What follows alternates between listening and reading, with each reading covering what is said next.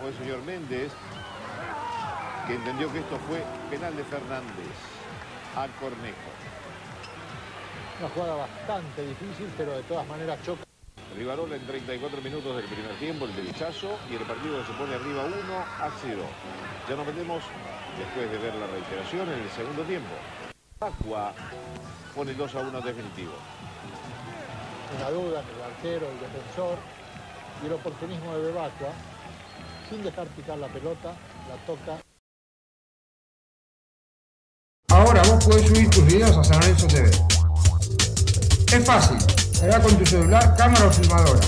Completá los datos y en segundos todos los foros van a ver tus videos.